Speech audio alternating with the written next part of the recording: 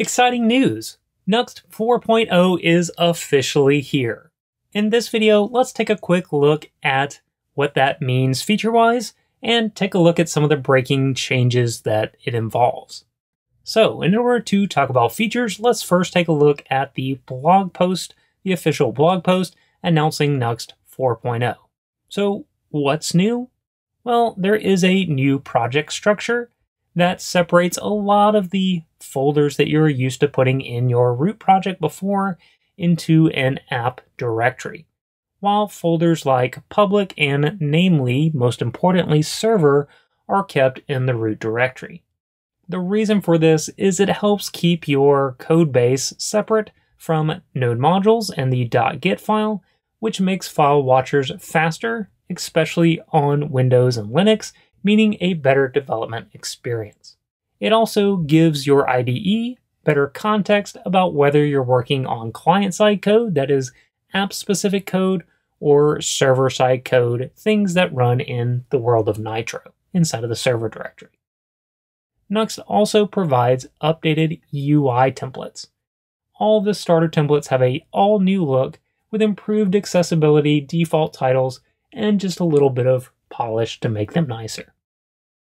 One of the most important things that I think ships with Nuxt 4 is this smarter data fetching. We'll talk about that a little bit more in a minute, but suffice it to say that data fetching in Nuxt 4 is just a whole lot nicer to work with than it was in Nuxt 3. Next, we have a better TypeScript experience, mostly resulting from that separation between the app directory and the server directory, but also due to this shared folder that can include helper functions that are meant to run on both the server side in Nitroland and on the client side in Nuxtland. Finally, in parallel with the release of Nuxt version 4, the Nuxt team has produced a faster CLI and development experience. You can read the details about that here in the announcement for Nuxt 4.0 release. Okay, so of course all these amazing new features don't come without a few breaking changes. What do those breaking changes look like? Well, let's head over to the official upgrade guide in order to learn more. This guide is extremely thorough and breaks down every single breaking change into its own dedicated section.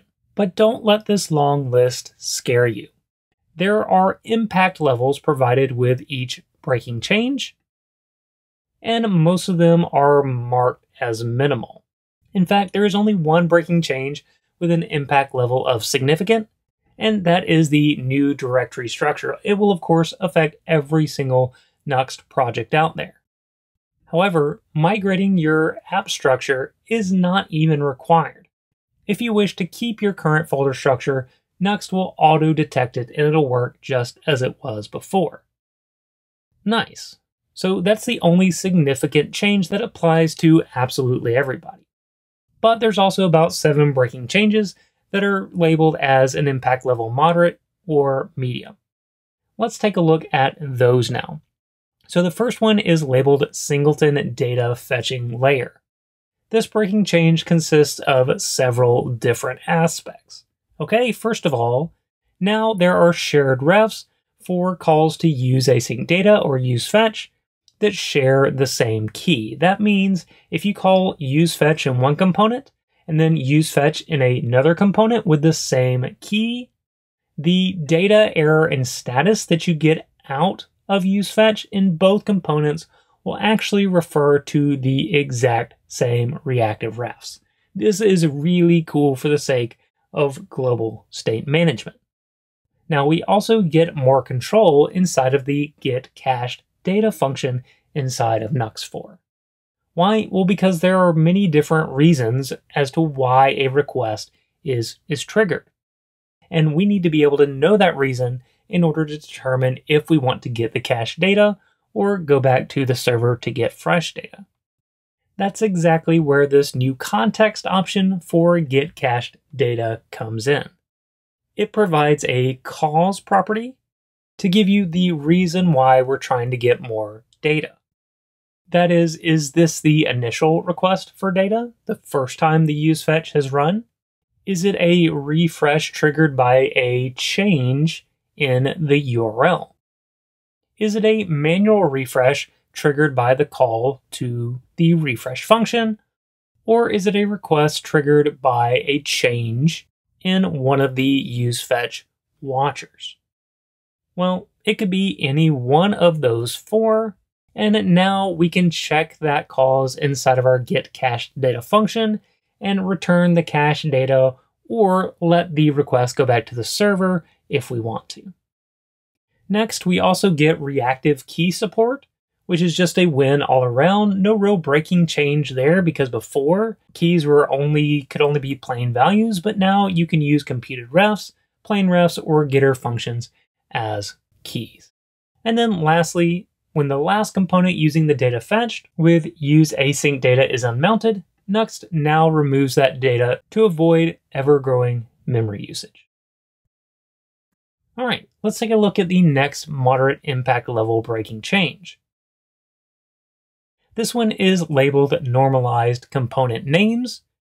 Why? Well, Vue will now generate component names that match the Nuxt pattern for component naming. What does that mean exactly? Well, let's say you have a user directory under your components directory, and in that user directory, you have a profile.vue component. Well, the auto-imported name for that component is a combination of the folder name and the file name. So when we go to use that component, we would call it user profile. In Nuxt version 3, though, if you tried to pass that component's name to keep alive, then you would actually have to use just the file name without its parent directory in there. And this is a little bit confusing. They're actually referring to the exact same component, even though they have different names. So now in Nuxt 4, when using keep alive, the naming is the same. This applies to usages of keep alive, but also when working with the find component function from Vue Test Utils. The last moderate impact level change is more granular inline styles. What is that? Well, Nuxt will now only inline styles for Vue components and not global CSS. Previously, Nuxt would inline all CSS, including global styles, and remove link elements to separate CSS files completely. Now though, Nuxt only does this for CSS instead of Vue components, which previously produced separate chunks of CSS, this is just to strike a good balance between reducing separate network requests, just as before, as well as allowing caching of a single global CSS file and reduce the document download size of the initial request. If you want to revert to the previous behavior, you can set features.inlineStyles to true. Now let's take a look at the changes with the impact level of medium. I'm not sure what the difference between medium and moderate is, if I'm honest. Perhaps they should really all be named the same thing, but nonetheless, we have seven medium and moderate all together three moderate and then four medium. So, what is our first medium impact level change? Shared pre render data. This change enables a previously experimental feature to share data from useasync data and use fetch calls across different pages. If you want more information on this change, you can see the original PR, but suffice it to say, it's just going to make building your statically generated pages a lot faster. If you have a statically generated site, then definitely explore this further. The next medium level change is the alignment of the pending value in use async data and use fetch. Previously, the pending value was always true until the first request of use fetch or use async data was made. Now, though, pending will be false until that first request is made. Essentially, now pending is inextricably linked or computed from the status value. So you can be assured that whenever status is equal to a string of pending, the pending variable is also a boolean of true. Next to last, we have a key change behavior in use async data and use fetch. So when you're using reactive keys in either of these two functions, Nuxt will automatically refetch the data whenever that key changes. However, when immediate is set to false, use async data will only fetch the data when the key changes if the data has already been fetched once. Previously though, useFetch had slightly different behavior. It would always fetch that data when the key changed, even if it hadn't already been fetched once. So now useFetch and useAsync data behave in a consistent way. That is by only fetching the data when the key changes if the data has already been fetched once. This is just a change to make things more predictable and consistent. The last medium impact level change that we have is directory index scanning. This applies to child folders inside of your middleware folder. Previously, those folders were not scanned for an index file, only the files directly inside of middleware were. But now you can organize your middleware with supporting files inside of their own directories and have them auto registered if you want to. This makes the behavior of auto registration with middleware more consistent with the auto registration behavior of plugins.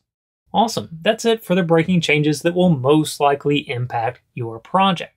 All the other changes have a minimal impact level and most likely won't affect you, or if they do, won't cause real significant behavior change in your app if you miss the migration of them.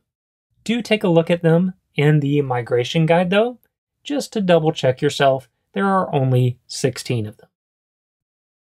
If you'd like to do an even deeper dive into the updates made in Nuxt 4 and get more coding examples to help you better understand those changes, then I recommend you check out our course over at Vue School, What's New in Nuxt 4.